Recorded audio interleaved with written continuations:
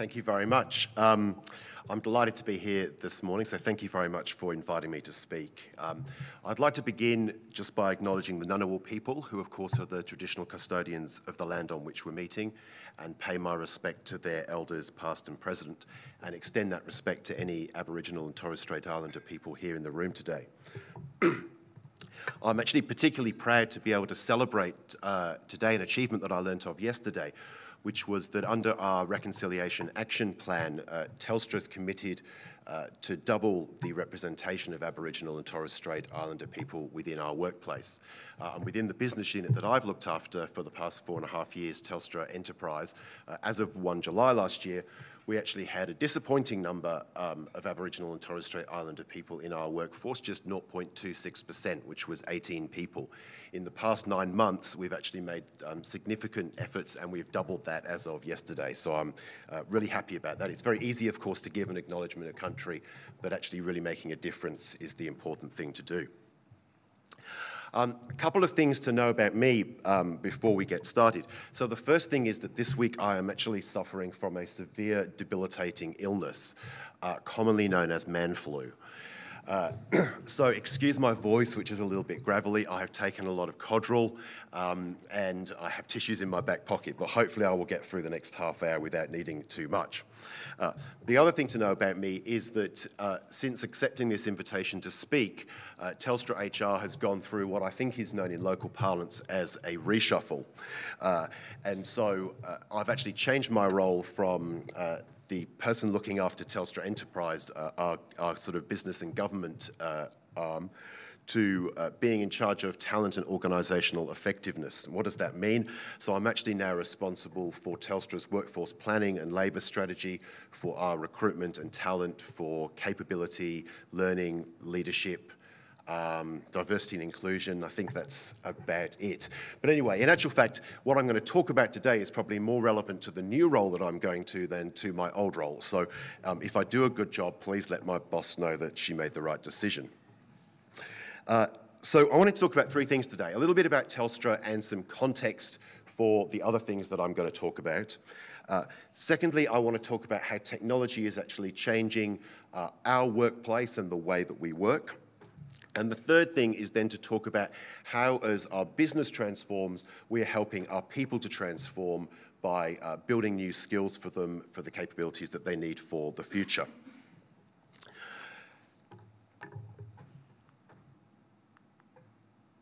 So our vision as a company is to become a world-class technology company that empowers people to connect. That isn't about moving away from being a telecommunications company. In fact, quite the opposite. It's really because we're a telecommunications company and because technology innovation is changing our industry so much that we need to become a technology company. Uh, now, it's very easy to say that. People often say today, technology is changing everything. Technology is indeed changing every business within Australia.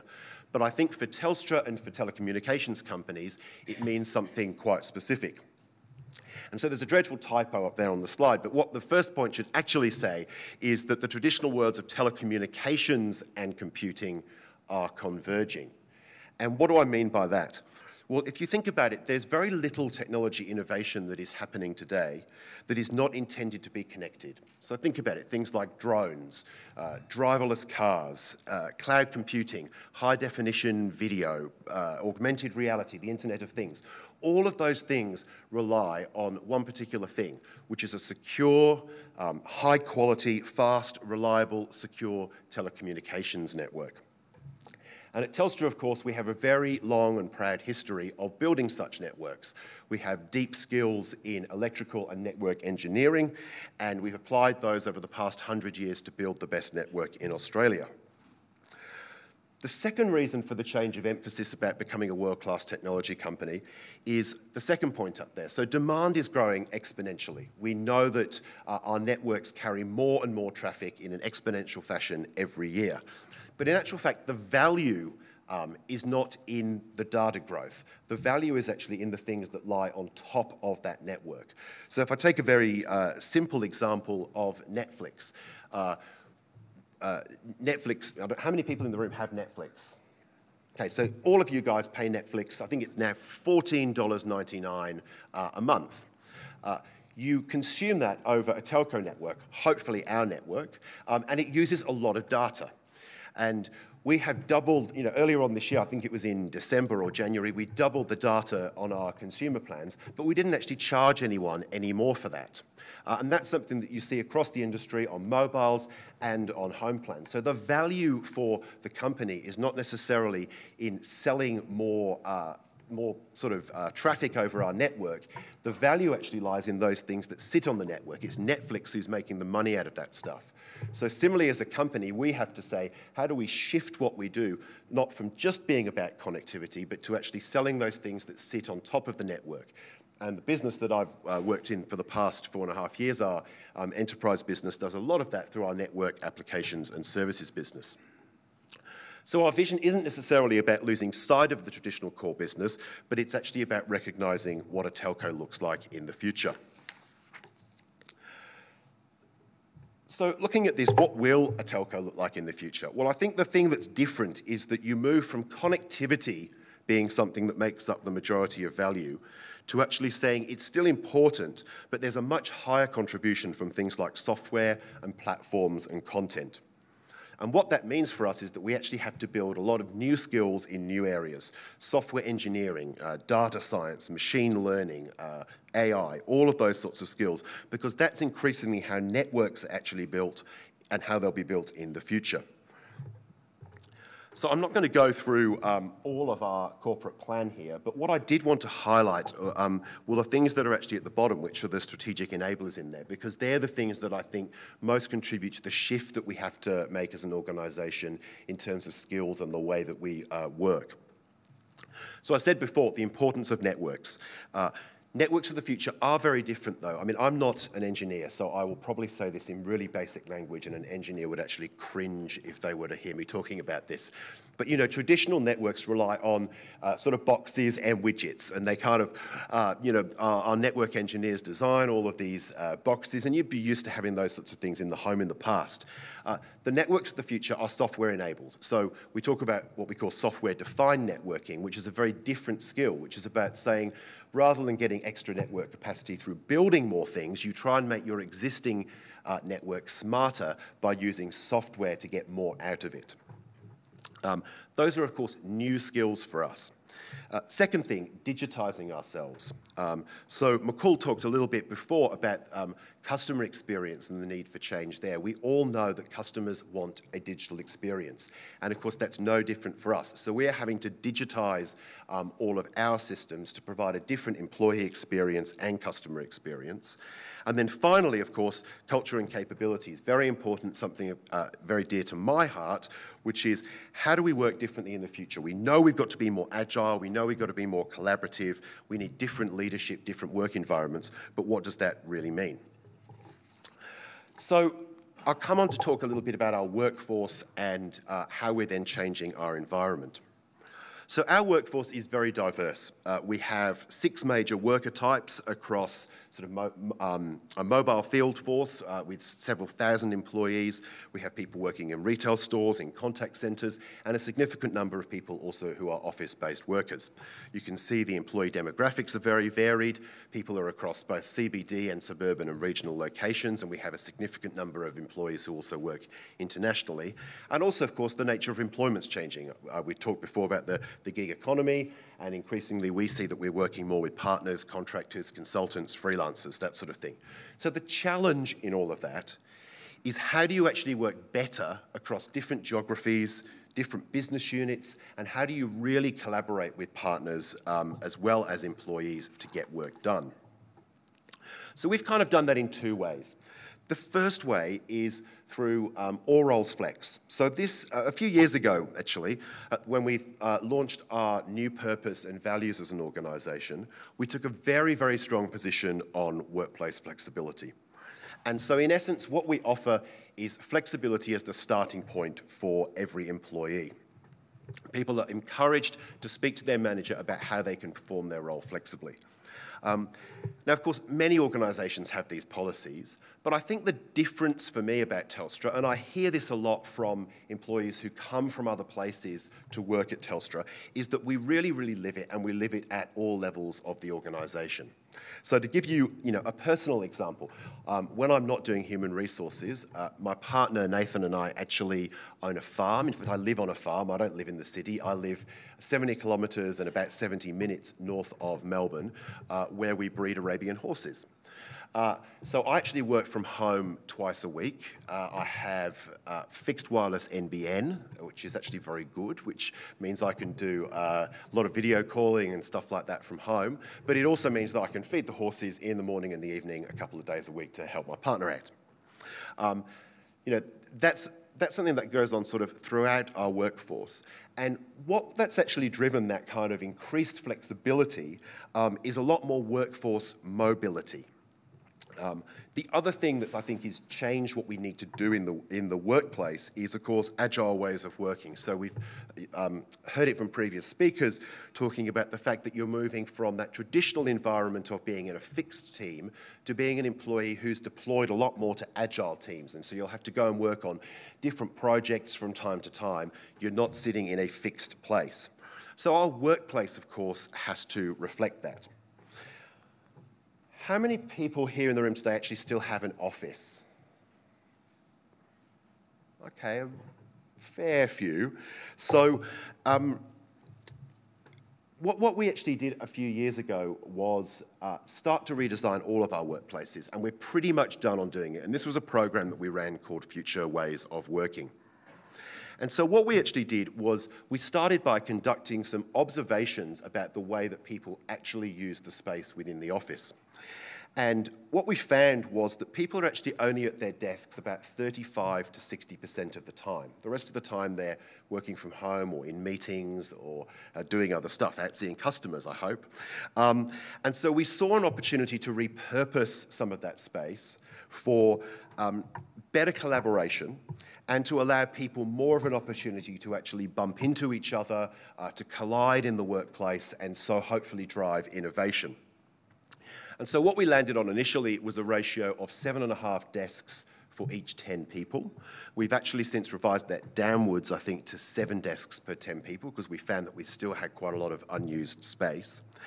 And then what we did was use the savings that we made, or some, we look, we banked some savings, got to be honest, but we used some of the savings that we made through that to actually increase uh, our workplace technology. So uh, all uh, rooms now that we have on our floors are video conference enabled. Um, we have really great Wi-Fi networking throughout the floors. Um, there's, um, all employees have really great access to video on their laptop. I'll talk a bit more about that in a moment. And then we also collaborated with our architects to try to, to create a design that uh, met our needs for the future and uh, meant that we would have happy employees. So I might just show a quick video that talks about this.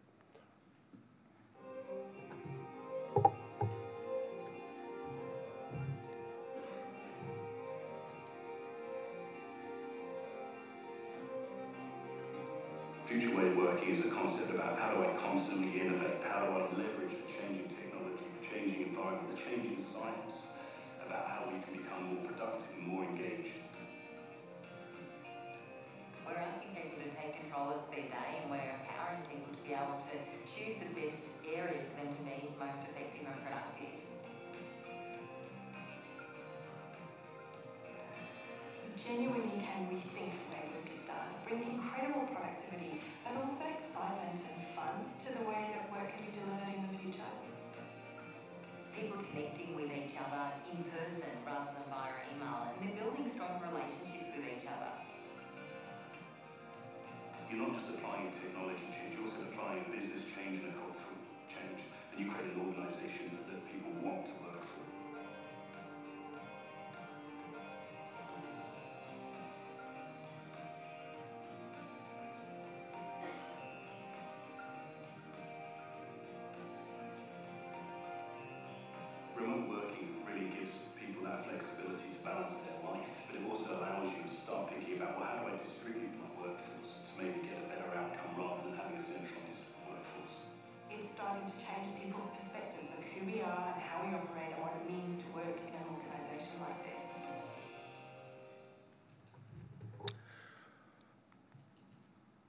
Awesome. So in terms of the actual layout that we went with, um, one of the goals was really to stimulate collaboration between teams. And so we went with very open floors uh, with flexibility to move between the floors. So you may have seen on the video, a lot of our floors are now actually connected through staircases, not just the fire escape. There's actually a, a staircase in the main work area, and that's really great. You, I run up and down them all the time when I'm in Sydney. Um, we also found when we were going through the pilot of this that we actually had to transition between particular spaces within the workplace. So you'll see up there, there's a blue area, which is the kind of social area that the floor opens onto, large uh, kitchen area. It tends to be a little bit noisy.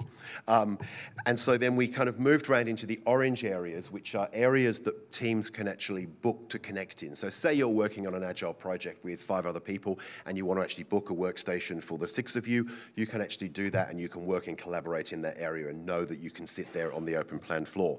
Then as you move around into the green area, uh, you start to move to more individual desks where people can you know, just turn up and, and choose a desk uh, from day to day. And then finally, uh, there's a sort of peace and quiet area, which is the pink area there, uh, which we call full focus, where um, can you believe it, for a telecommunications company, we actually say no phone calls. So um, those were the sort of zones that we went with on our floors. And what we actually have found over the past few years is that, I won't go through all of this, uh, but it's really, really increased um, our engagement.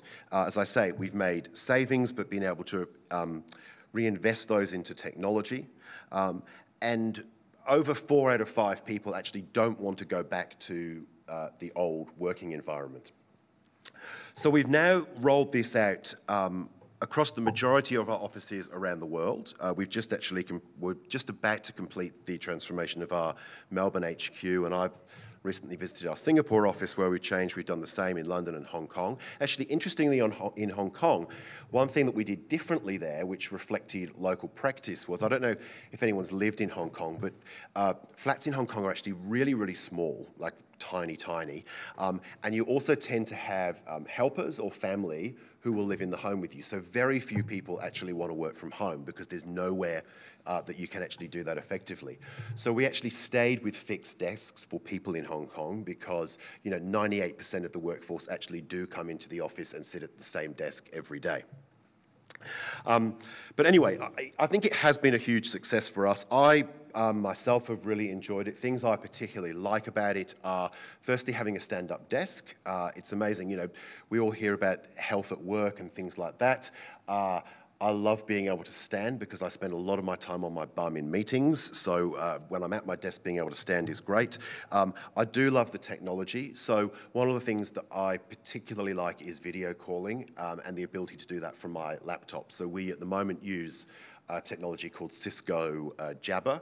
Uh, actually, this week we launched uh, a, a, new uh, thing called Telstra Calling with Microsoft, which is through their Office 365 uh, suite.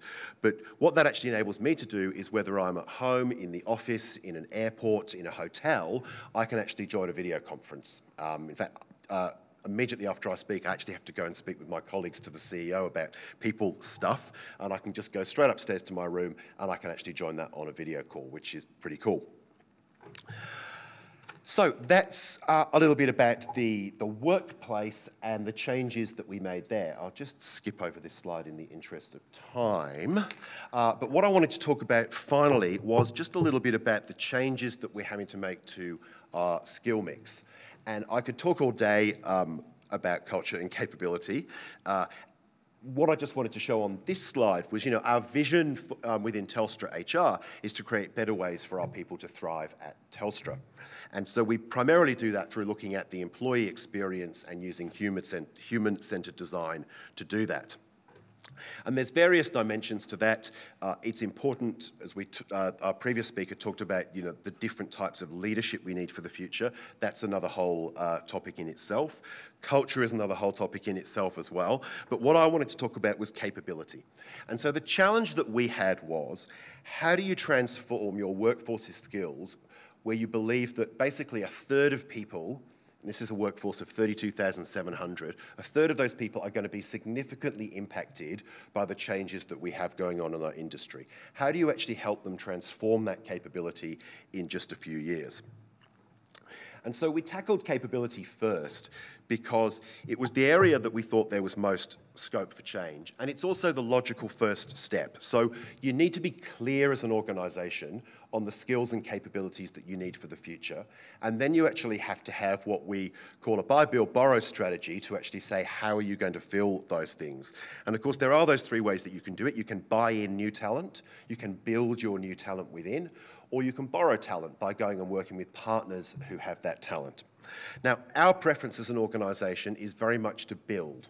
Um, that's partly because it's actually the most cost-effective thing to do, and it's partly because we actually owe that to our workforce. You know, we have uh, really great, talented employees, but as skills change, so for example, you know, if you're a network engineer, in the future, you probably need to morph to being more of a software engineer. How do we actually help people do that? And how do you do that on a large scale?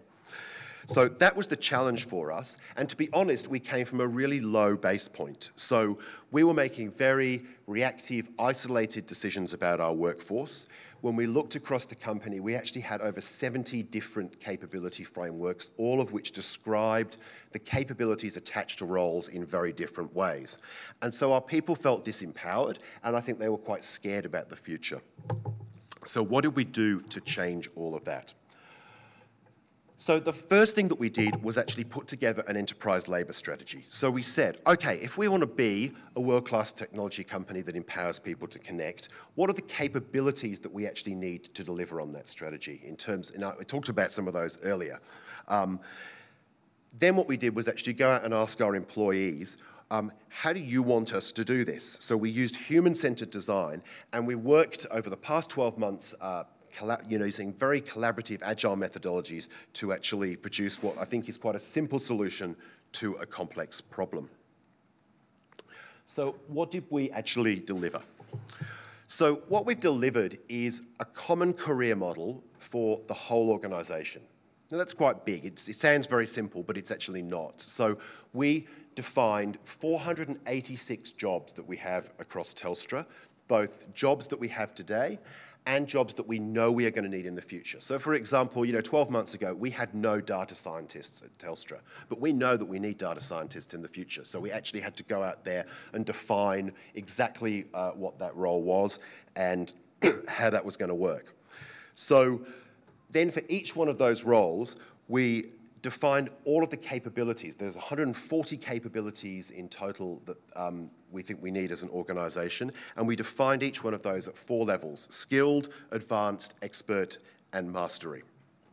And so for every one of the jobs in the organisation, you can go in and you can see which are the capabilities that you need for that role and at what level you actually require them. So, for example, uh, I actually looked up today, when you go into the system, uh, you, you, um, what we ask employees to do is go in and enter all of their current skills. So you have a profile in my career. It looks a little bit like a kind of LinkedIn profile where you put all of your past experience as an employee, including things you did prior to Telstra. And then we can actually match you with the, um, jobs that there are across the organisation. So I can tell you, for example, I'm an 81% match for the CEO role at Telstra. So, you know, a, a, bit of a way to go there. Thankfully, I'm 100% matched for the role that I'm in, but I'm 54% matched for being a software engineer. Uh, and so why is that? Well, I've got skills in driving accountability, um, but I haven't got skills in applying agile practices or building software or designing software. But then what the system does is it actually then links it through to what we call learning pathways, which effectively is saying, hey, if you're currently um, just skilled in software uh, in, say building software, but to become a senior software engineer, you actually need to be an expert in that. What are the things that you can do, both experiences and courses that you can do online to actually get you there? And all of this is actually now digitally enabled. So I will finish by just playing you a quick video about uh, the system that we now call My Career, which is hopefully going to enable us to really transform our employees' experience and help them build their capabilities for the future.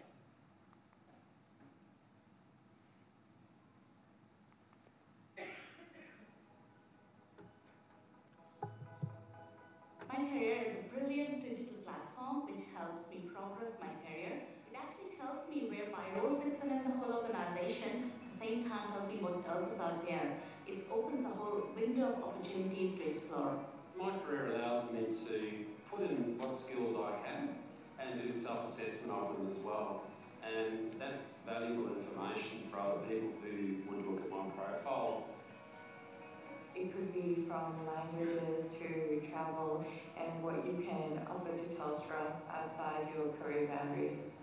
The great thing about my career is it does give you visibility about what other roles may exist out there in the business. It enables me to go exploring and then it gives me options of other roles that I might not have even known about. When I do go to have that development conversation with my manager, I've got a solid foundation to work with, so I know exactly where my skill gaps are, and I also know what areas that I want to develop if there's something that I want to move into from a career perspective. Sometimes in Telstra being this enormous organization, sometimes it's real difficult to find out who's who in this role. My career helps me put a face to the name, find out a bit about the person overall, and actually directly contact them. I think it's brilliant to uh, connect and find more about people you meet in your day-to-day work as well. When you're ready for your next role at Telstra, you can download your My Career profile and use it as a resume template so that everybody can see all of your skills and expertise as well as some personal information. The meeting page allows me to see my pay, allows me to leave, and also to look at my learning and development and performance opportunities. What I love about my career is really how it makes accessing and talking about your career so easy. No matter what way I want to access it, I can do that.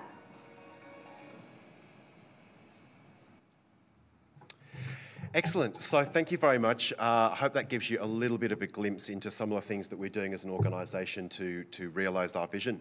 Thank you.